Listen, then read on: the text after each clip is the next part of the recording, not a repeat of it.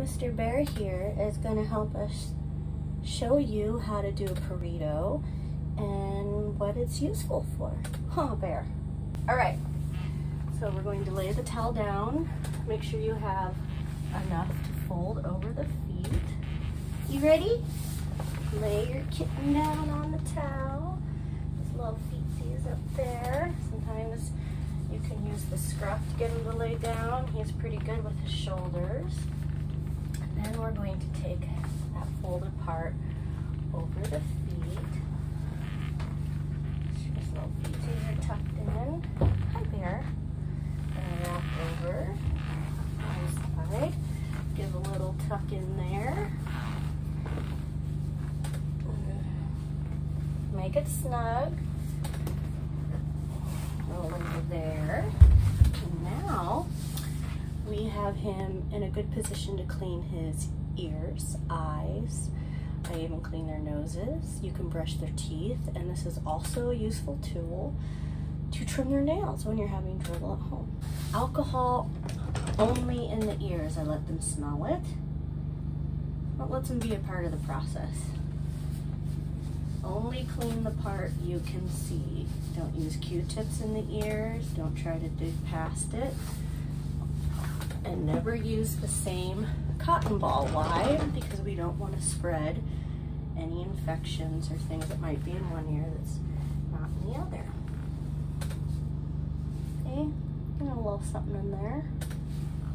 Okay, eyes. Saline only.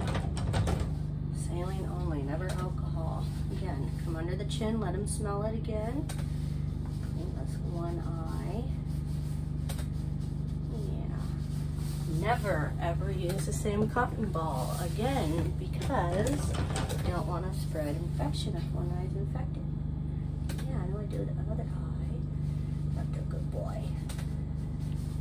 Saline. The face, nose, and whiskers. Um, Come just kind of a little gentle. Do his whiskers. You need to get those all clean. Little nose. Sometimes I find stuff in there.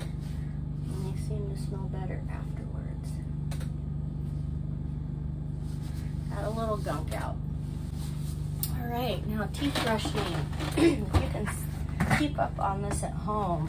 Ugh, that would be amazing for your kitty's health and your doggy's health too. Let them see it and let them smell it. And then I come up front and I just pull his lips back. Now this is enzymatic toothpaste.